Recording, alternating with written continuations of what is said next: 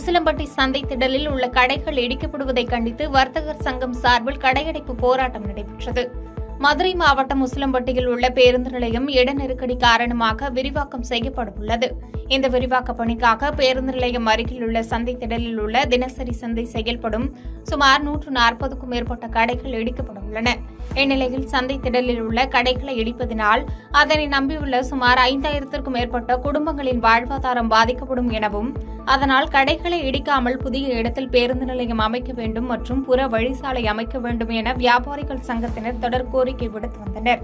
இதன் ஒரு பகுதியாக இன்று வர்த்தகர் சங்கத்தினர் ஆதரவுடன் ஒருநாள் கவன ஈர்ப்பு கடையடைப்பு போராட்டம் நடைபெற்றது. இதனால் உசிலம்பட்டி மெயின் பகுதி மற்றும் ஜவுளிக்கடை பஜார் நகைக்கடை பஜார். இதனால் உசிலம்பட்டி மெயின் பகுதி மற்றும் ஜவுளிக்கடை பஜார் நகைக்கடை பஜார் போன்ற பகுதிகளில் உள்ள சுமார் ஐந்தாயிரத்திற்கும் மேற்பட்ட கடைகள் அடைக்கப்பட்டதால் உசிலம்பட்டி வெறிச்சோடியது. பாதகம் செய்பவரை கண்டால் நாம் பயங்கொள்ளலாகாது பாப்பா. மோதி மிதித்து விடு பாப்பா. அவர் முகத்தில் உமிழ்ந்து விடு பாப்பா. அண்மை செய்திகளை உடனுக்குடன் தெரிந்து கொள்ள இணைந்திருங்கள் இயம்நாடு தொலைக்காட்சியுடன்.